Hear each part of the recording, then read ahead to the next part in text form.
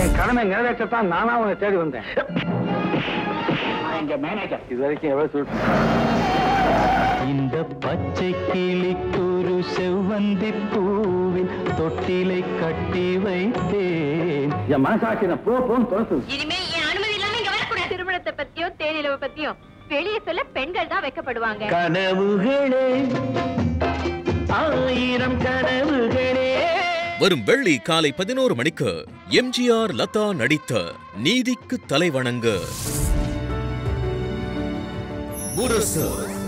முழுமையான பொழுதுபோக்கு.